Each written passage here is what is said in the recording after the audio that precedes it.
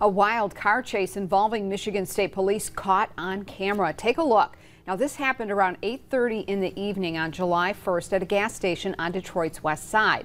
A flyover shows an assault happening in the parking lot of that gas station.